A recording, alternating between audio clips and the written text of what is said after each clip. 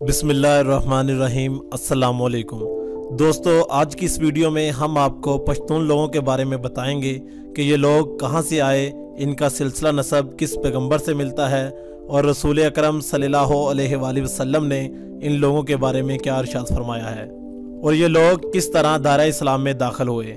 Video کی باقاعدہ تفصیل شروع کرنے سے پہلے آپ سب دوستوں سے گزارش ہے کہ اگر آپ نے ہمارا یوٹیوب چینل سبسکرائب نہیں کیا تو پلیز اسے سبسکرائب کریں اور ساتھ ہی بل کے آئیکن کو پریس کریں تاکہ ہر نئی آنے والی ویڈیو سب سے پہلے آپ تک پہنچ سکے۔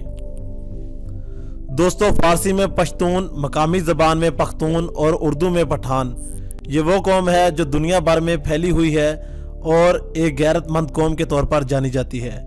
ان کی زیادہ اکثریت افغانستان، بھارت اور پاکستان میں ہے۔ دنیا بھر میں پختون اپنی وفا اور غیرت کے نام سے جانے جاتے ہیں۔ لفظ پشتون کا مطلب ہے غیرت و وفا والا اور اپنے دین اور عزت کے لیے مر مٹنے والا۔ اب دوستو، آپ کو ان کی تاریخ کے متعلق کچھ دلچسپ معلومات بتاتے ہیں۔ تاریخ دانوں کے مطابق پشتون قبائل کا تعلق بنی اسرائیل سے ہے۔ بنی اسرائیل حضرت موسیٰ علیہ السلام کے وقت میں بارہ قبیلوں میں بٹے ہوئے تھے۔ ان میں سے ایک قبیلہ اپنے مذہب تبدیل کرنے کی وجہ سے وہاں سے ہجرت کر کے رفتہ رفتہ ایران، پھر افغانستان اور پاکستان کے علاقوں میں آ کر آباد ہو گئے تھے۔ اس وقت پشتون افغانستان میں سب سے بڑا اور پاکستان میں دوسرا بڑا نسلی گروہ مانا جاتا ہے۔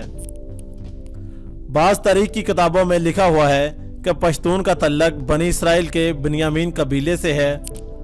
اب بات کرتے ہیں کہ یہ لوگ مسلمان کیسے ہوئے۔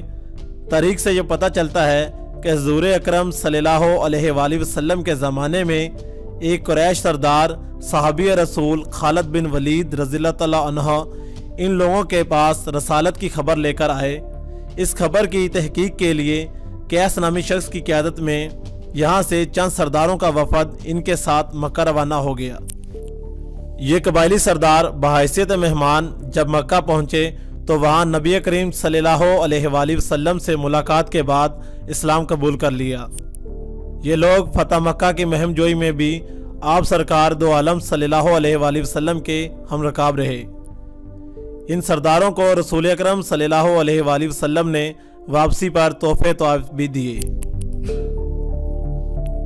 اس وفد کے امیر کیس کا اسلامی نام عبد الرشید رکھ دیا، جبکہ اسے بہتان کا لقب بھی عطا کیا۔ اور پھر یہی لقب بگڑ کر پٹھان بن گیا۔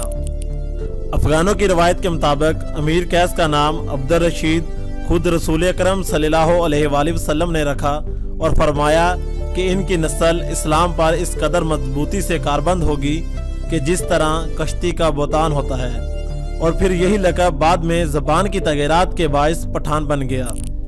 دوستو، سب سے بڑی عجوبہ خیز بات یہ ہے کہ ان کی نسل میں یوسف زئی داؤد کھیل، موسیٰ کھیل اور سلمان کھیل موجود ہے جن کو پیغمبروں کے ساتھ منسلک کیا جاتا ہے اور کہا جاتا ہے کہ یہ گروہ مختلف پیغمبروں کی اولادیں ہیں۔ افغانوں یا پٹھانوں کے کئی اوصاف عربیوں سے ملتے جلتے ہیں۔ عرب قوم مہمان نواز، بہادر اور اہل علم ہونے کے ساتھ ساتھ دوسری قوموں سے اتنی جلدی مرعوب نہیں ہوتی۔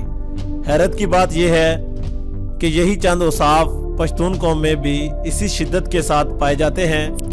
دوستو، پشتونوں کا یہودی نسل سے ہونا قابل فخر بات ہے، نہ کہ موجب توہین۔